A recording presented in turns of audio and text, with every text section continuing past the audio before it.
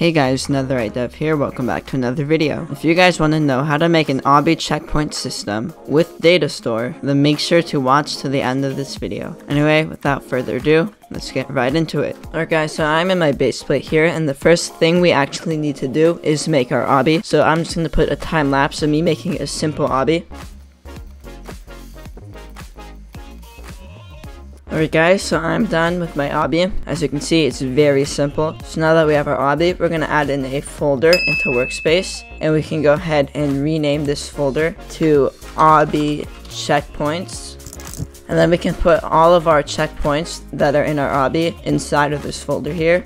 And then we're to number them. So the starting checkpoint will be checkpoint 1. So let's name it 1. This checkpoint will be checkpoint 2. This checkpoint will be checkpoint 3. And this will be checkpoint 4. And make sure that they're numbered in the right order. So now we're to script part of our leader stats. So in server script service, we can add in a script and name it to leader stats. So the first thing we can do is create a variable for the spawns folder. So we can do local spawn fold is equal to game dot workspace colon wait for child and we're gonna get the obby checkpoints folder. And then we can do local default spawn is going to be equal to spawns fold colon wait for child and we're gonna get the first checkpoint. So then we can go down two lines and we're gonna create a function that runs when a player joins the game. So we can do game dot players dot player added colon connect function and we can name it to player. Then we're to make it so that the player spawns in the default spawn area when they first join the game. Because right now, if we were to play it,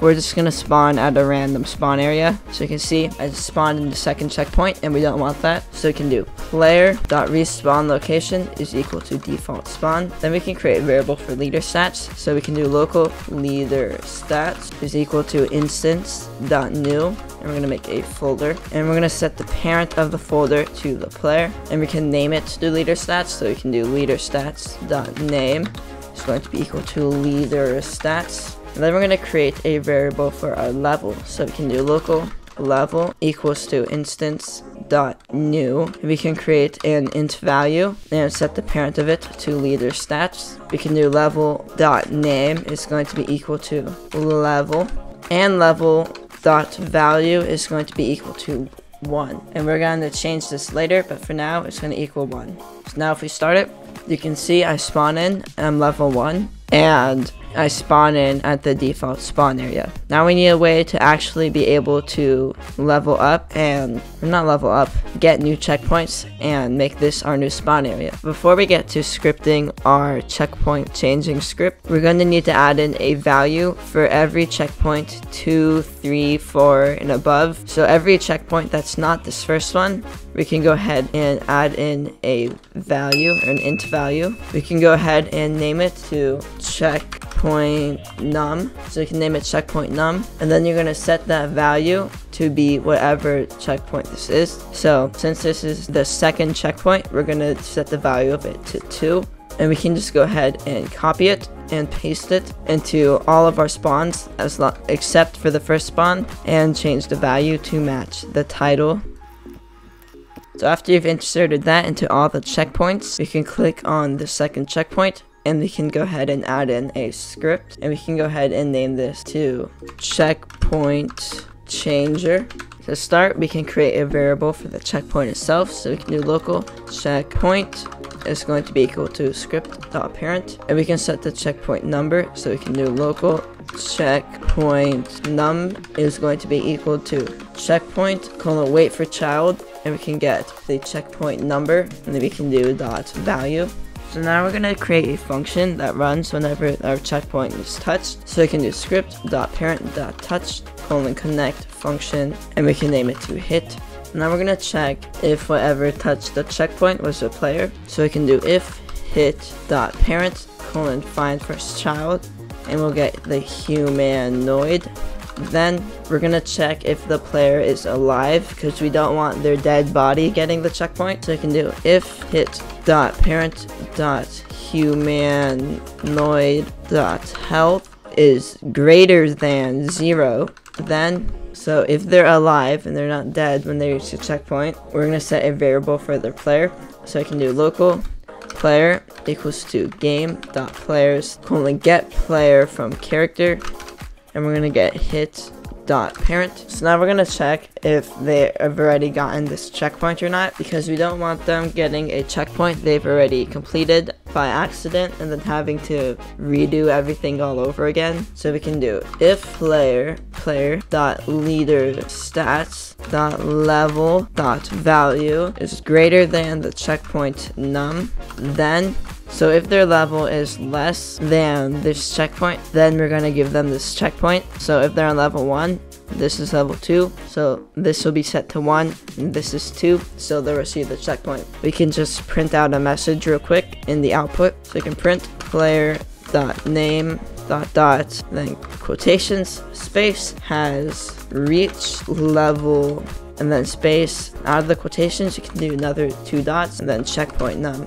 then we can make their leader stats match that value. So we can do player dot leader stats dot level dot value is going to be equal to checkpoint num and we can set their respawn location to the checkpoint. So they spawn here. So player dot respawn location is equal to checkpoint. And else so if they have already gotten this checkpoint so we can just do print checkpoint already obtained. So now we can just copy this script and paste it into the rest of our checkpoints. So now if we test it out like a real obby if uh, uh, oops, if we beat level 1, you can see it says Netherite Dev has reached level 2. And then after that, it says checkpoint already obtained. And you see up here, it says level 2. Now if I were to die, you can see I respawn right here. Now if I were to get to level 3, you see it says Netherite Dev has reached level 3, checkpoint already obtained. And if I, even again, if I were to go back, it says checkpoint already obtained. Now if I were to get to level 4, you can see it says I've reached level 4, and now I'm level 4. And you can of course have as many stages as you would like. So if you just came here for the checkpoint system, that's it, you can leave. But there's still one problem though, and that is when you leave the game, your data won't save. So we're gonna need to script our leader stats. I mean not our leader stats, our data store. Now, I personally have no idea how to script data store, so I use GnomeCode's tutorial for this. In my opinion, he's honestly the best tutorial YouTuber out there. You should check him out. I'll have his data store video in the description. It's the best data store video I've ever found on YouTube.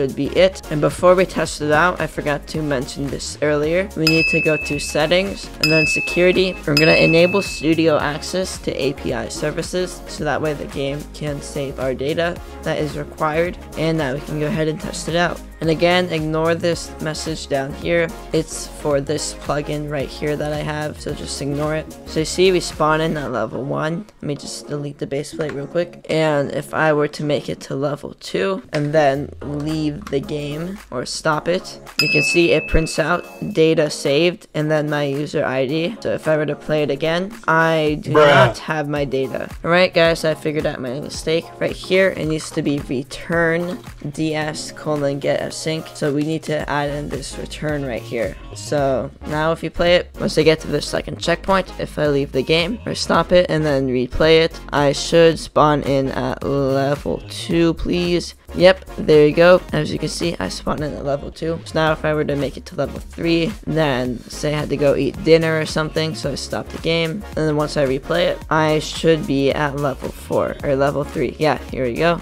As you can see, it works. Anyway guys, I really hope you enjoyed this video. If you did, be sure to leave a like and subscribe. I'll see you guys in the next video. Bye!